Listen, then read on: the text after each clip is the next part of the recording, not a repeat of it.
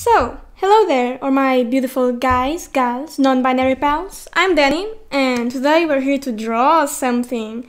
It's down there in the name of the channel. Anyway, so, as I woke up today, uh, I had an epiphany of sorts. I thought about a brand new idea for uh, maybe a series, if you guys like it. And so, what we're gonna be doing is we're gonna take an idea, or in this case, an animal, and we're gonna be drawing it in a realistic style and then in a cartoony style. And kind of comparing the two, if they can be compared, I mean, if you think about it, they're completely different styles and techniques, but this is just to see how uh, both styles can be used to represent the same thing, the same image. And today we're gonna be doing that with a horse. Beautiful, beautiful horse.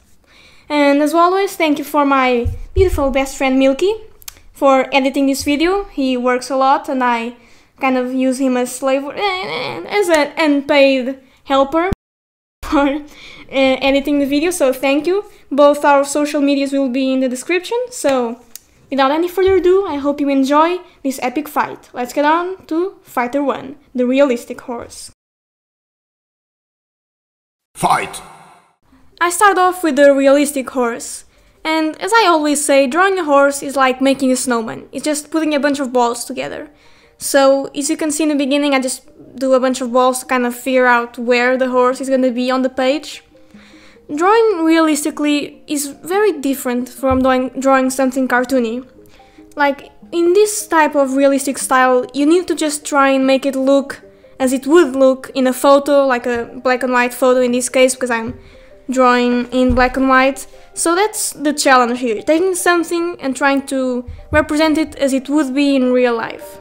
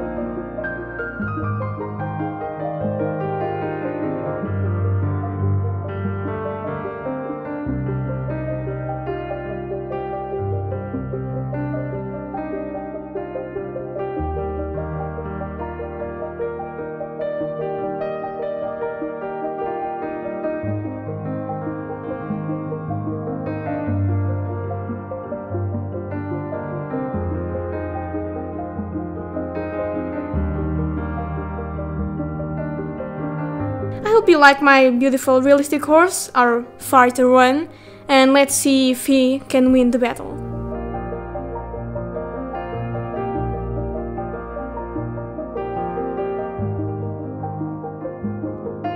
So, now onto the cartoony horse. Again, just a bunch of circles, that's what a horse basically is. Now, with something cartoony, you can go a total, like many different ways. That's why you see on YouTube those videos that's like drawing something in 20 different art styles, and most of those styles are really cartoony. And if you look at different animated shows and movies, they all have a different art style. The style I use here is my own style, and you'll see in a minute, or I don't know if you can already see it. It's kind of inspired by a certain film, a certain film about a horse. If you can name that film, please leave your guesses in the comments. It was one of my favorite uh, films when I was a kid, and it inspired me so much that that's just how I draw cartoony horses now. So I hope you liked the drawing. Let's see if Fighter 2 can compete with Fighter 1.